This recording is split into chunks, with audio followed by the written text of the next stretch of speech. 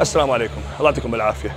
أكيد ياما سمعنا عن الفرق بين التمارين بالأجهزة وتمرين بالأوزان الحرة وأنا شرحت بالسابق واعطيت أمثلة على تمرين الصدر عضلة الصدر. اليوم بدي أحكي عن تمرين البايسبس. شو أفضلية الكيبل عن الدمبل؟ طبعا هذا لا يعني إنه ما بلعب الدمبل بلعبه أحيانا باب التغيير فقط ولكن أكيد الكيبل فيزيائيا أفضل بكثير من الدمبل لأسباب راح أشرحها الآن.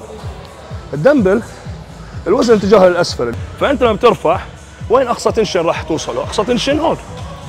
زاوية 90 لما بتطلع هون كل ما قرب الوزن أو جهة المقاومة أو آه, آه جهة المقاومة نقطة المقاومة كل ما قربت على المفصل اللي هو الزاوية المتكئ عليها كل ما صار ال tension بقل almost zero هون ال tension. فأعلى tension عندك إياه هون وبنقطة الصفر ما في tension أساسا. ولكن لما نجي نحكي نفترض إحنا ندرب ال long head طبعا ال long head وال short head بيشتغلوا مع بعض ولكن لما تكون القلبه لورا بهذا الشكل ال long head راح يشتغل أكثر اللي هو الرأس الخارجي. وكل ما طلعت كل ما ال tension زاد ولما توصل لهون لاحظوا القلبه لورا والمسافة بينه وبين السحب هاي السحب لتحت من هون.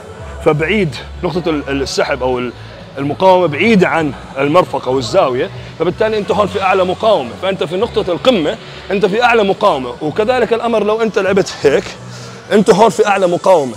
ال tension عالي مش صفر.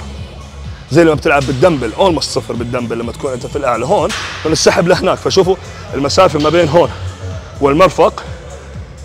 أعلى شيء أو أبعد شيء فبالتالي حتكون مقاومة بأعلى درجة. لهذا السبب إحنا الكيبل له افضليه ولأنه ال time under tension الوقت.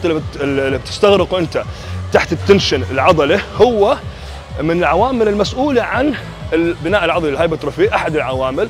فانت هون حتحصل على time under tension أعلى من الدمبل.